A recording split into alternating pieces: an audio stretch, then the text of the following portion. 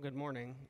By, by way of introduction, my name is Father Tim Deely. I'm a priest of the Diocese of Pittsburgh, just next door.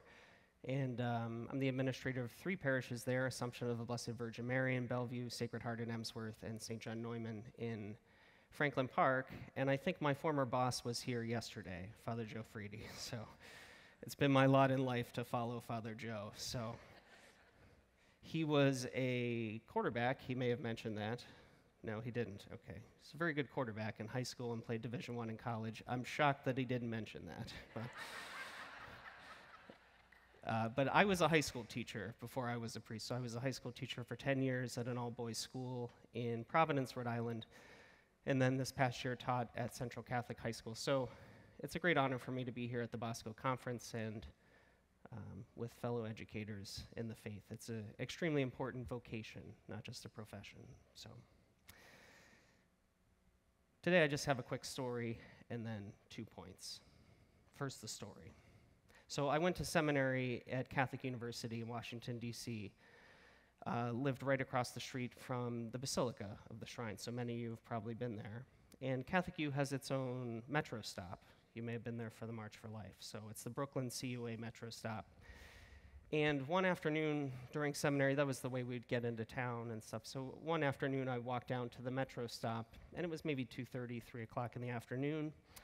And while I was waiting for the train to arrive, school had just gotten out, and so there were, there were school kids on the, the metro station. And I observed a great scene. There were a group of boys there, maybe 10, 11 years old, and they were playing a, a game. They would, there were these big concrete pillars on the metro stop, and one by one, the boys would put their back to the pillar and they would trace their height with like a piece of chalk or whatever they were using. And so, one by one, the boys would go, put their back to the pillar, and measure their height. So, it was kind of a funny game because they were playing a game that trying to see who was tallest. So, one by one, as each boy went up, he would kind of stretch himself upwards to try to meet the chalk line drawn by the tallest boy. It was funny to me because it was pretty obvious who won. You know, there was one kid that was way taller than the others. But uh, thinking about that game, the boys trying to measure up, lift themselves up, meet the line drawn by the tallest there's something about that game, that scene, that stayed with me. And the more I've thought about it, there's something in there I can't quite shake about it. And I think it's the fact that, in some ways, that little game quietly captures so much of our own lives, many times. The constant striving to better ourselves, uh, to be better than so and so. The natural and oftentimes problematic and usually fruitless comparing of ourselves to each other, the desire to impress parents or teachers or coworkers, friends, bosses, the bishop. But what really enthralls me and captivates me, and honestly kind of frightens me about that game, is this question What if in real life, in the course of human history, among all the human beings who have ever lived, what if there really was a tallest who had walked among us?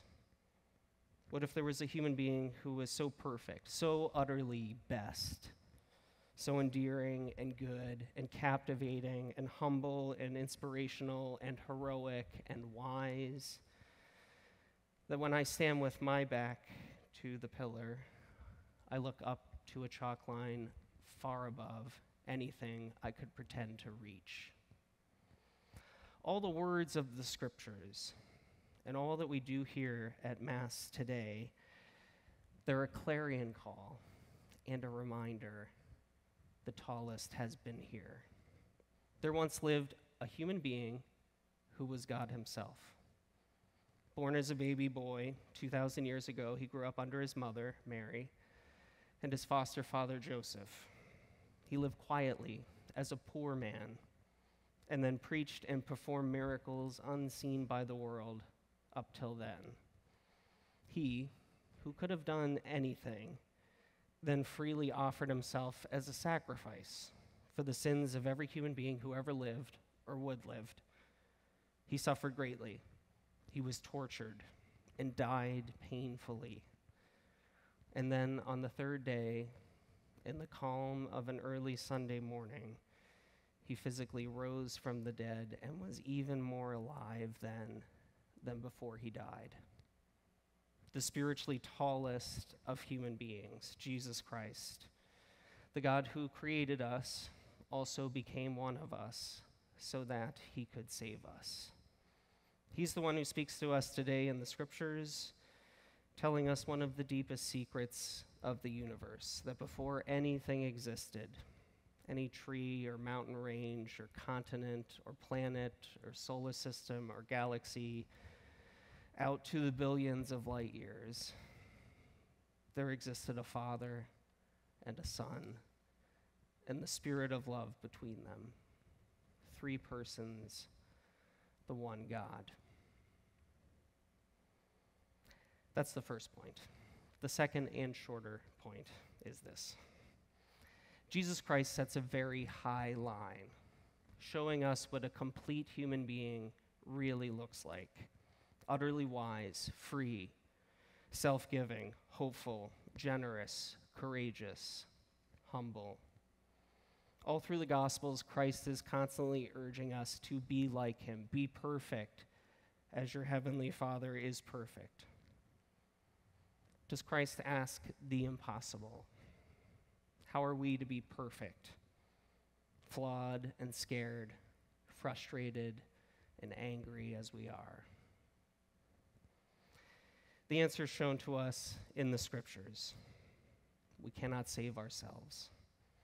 Only by allowing the Holy Spirit to come to our aid, by accepting the sacrifice of Christ on the cross in our lives will we really be able to grow.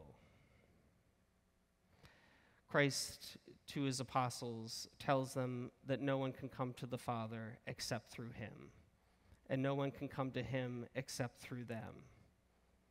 He gives to them the power to baptize, to forgive sins. It's to them that he says at the Last Supper, Do this in memory of me. Christ saves us through the preaching of the gospel, through the truth.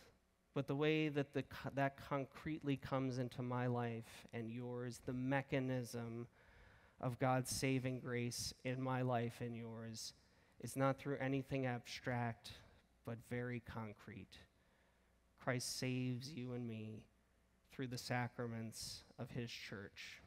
And he uses intermediaries as the way that he's going to work to heal us and to help us grow.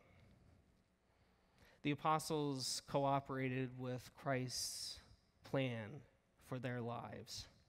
And so they received the Holy Spirit and lived in the complete, complete freedom of the sons and daughters of God. We, and through extension, our students and those that we teach, if we're to live authentically, if we're to live genuinely and fully, we must do what the apostles did. We must accept, through the sacraments, the Lord's saving grace and plan in our lives. And then, here is a really great thing that when we do that, we can be like St. Peter and the other apostles, like St. John the Baptist of old, like St. Kateri today among her people, pointing out Christ, the way of life, the truth. We can do that to those who might find themselves floundering or thirsting or wandering listlessly and maybe even despairing. Those who are looking for the truth, for that highest possible chalk line. So, today and during this conference, let us, you and I, during the calm of the summer months before the school year starts again, let us stand with our backs to the pillars of our lives and draw a chalk line over our own heads and see where we are. And then let us look upwards and see the chalk line drawn for us by Christ Himself, so that we might be the great men and women that God created us to be, that He redeemed us to be, that He's come to us through the sacraments to make us to be. It's only possible if we accept Christ's help, Christ's help that He so desperately wants to give us, so that we might heal and grow to be the free, happy, and powerful human beings that we were meant to be in this life and for all eternity.